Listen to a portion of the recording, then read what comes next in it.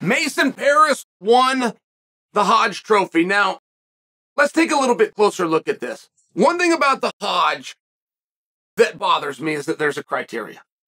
I mean, I, I just got to tell you that be, because I have a fear with the criteria. I lived through the 90s, I lived through the BCS. It was a poll, it was a computer that would tell us who the national champion was in football. I mean, this, this is scumbaggery to the highest of level, which only the NCAA could do, which is the scum of the earth. Truly. I mean, this is terrible. A computer was declaring champion, and then those people actually felt like champions. They would hold parades. There's guys from that time from that, that wear rings now and want to tell people about the good old day when they were the national champion. No game, no playoff, no battle. Very interesting thing. So when the Hodge has a criteria, that, that bothers me. How are we going to do this? Because no matter what you put on your criteria, pins and tech falls and major decisions, no, no matter how you think you've covered it, nothing trumps who beat who. Nothing trumps strength of schedule. Now, here's the good news.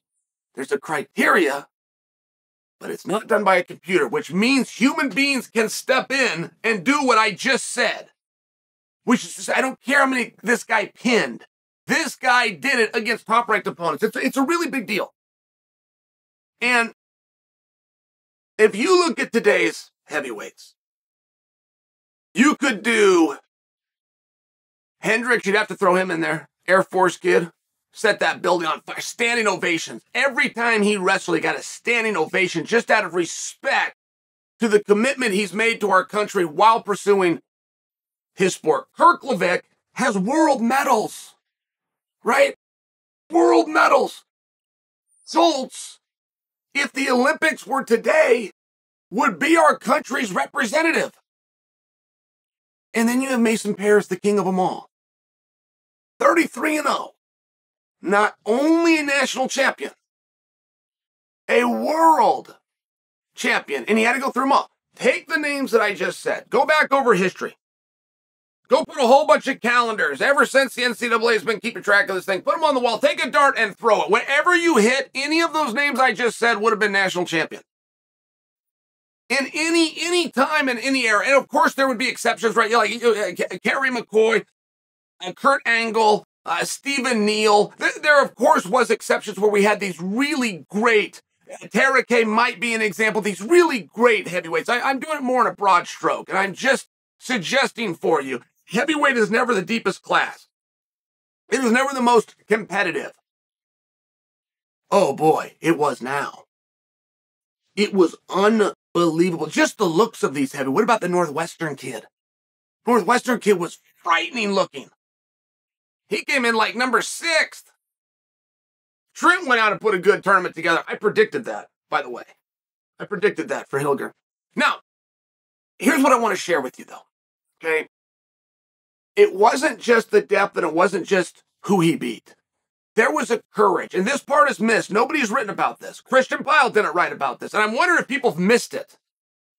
I guarantee you, those who weighed their opinion and had to decide if you're going to put Mason over Yianni, over Carter, over Vito, if you're going to do that, how and why are you going to do it? And I'll guarantee that they will back me when I tell you courage was factored into that.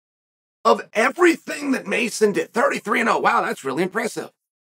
Come through the front side, get back to the tournaments. Everything's on the line. Spot that he's been in before and failed, and he's got to go through Kerkvliet to do it, who he knows inside and out and just saw two weeks ago. I mean, talk about a demotivation. He goes out and gets it done, gets his hand raised, does it in front of the former president of the United States. It was a big deal. It wasn't as big of a deal as what he set out to do. And it wasn't as big of a deal what he was prepared to do. And it wasn't as big a deal as what he thought he was going to have to do, which was go through the Olympic champion. That is the difference. Those heavyweights that step forward, and we will give Mason the credit since he came out on top. All those heavyweights, but talking about Mason right now, was willing and prepared and thought he was going to have to go through Gable and he stepped to the plate anyway. He dug deep. He worked in the offseason. He prepared. He game planned. He did not back down. That's the difference. If you want to know how they came to Mason over the other great options, just so you know, it wasn't Gomez sliding a win in over Yianni. Just so you understand. Wasn't Carter being overlooked because of some promo that he cut, which he does very well.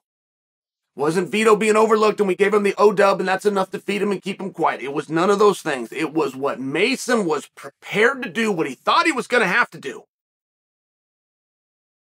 And what he was willing to walk out there and prove, including against the Olympic champion.